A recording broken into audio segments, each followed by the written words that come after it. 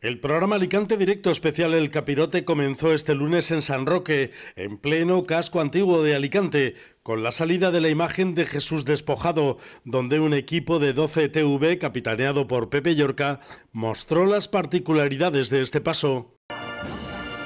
Estamos en el mismo corazón de la procesión de Jesús el Despojado que acaba de salir de San Roque y luego recorreremos todas las calles de Alicante con el Morenet, con la humildad y paciencia y con Nuestra Señora de las Lágrimas, que es la procesión, una procesión la más larga porque sale desde el Marc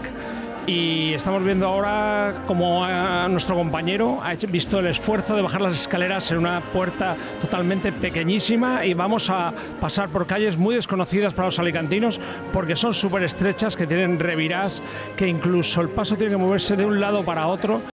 El programa especial que 12TV ha puesto en marcha este año pretende imitar el comportamiento de cualquier alicantino o visitante, que es recorrer las calles, asomarse a las esquinas y ver pasar las imágenes más características que procesionan por la ciudad, como el Morenet, el patrón de los hombres del mar, al que nos encontramos por las estrechas calles del casco antiguo.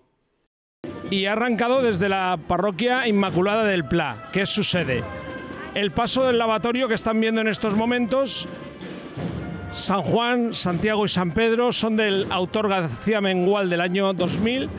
y el paso del prendimiento, Jesús, Judas, el soldado romano, son de García Mengual también del año 1996. Posteriormente, Nuestra Señora del Consuelo también es del mismo autor. Esta hermandad siempre lleva las imágenes del mismo imaginero, García Mengual, y están realizadas en 1996 y 1997. Desde la parroquia de la Inmaculada del Pla partió este lunes santo la Hermandad del Prendimiento y Nuestra Señora del Consuelo, acompañada por los hermanos que lucen túnica blanca y verde, recordando que el actual edificio del Marc fue en su día un hospital, cuyos extrabajadores fundaron esta hermandad. Está procesionando detrás nuestra la Hermandad del Prendimiento de Nuestra Señora del Consuelo, una de las hermandades que tienen el recorrido más largo de la Semana Santa Alicantina porque viene del Marc. Los colores también son poco usuales porque verán ustedes que tanto los hermanos de fila como los costaleros van de blanco y verde, ya que el Marc antes era el antiguo hospital de la ciudad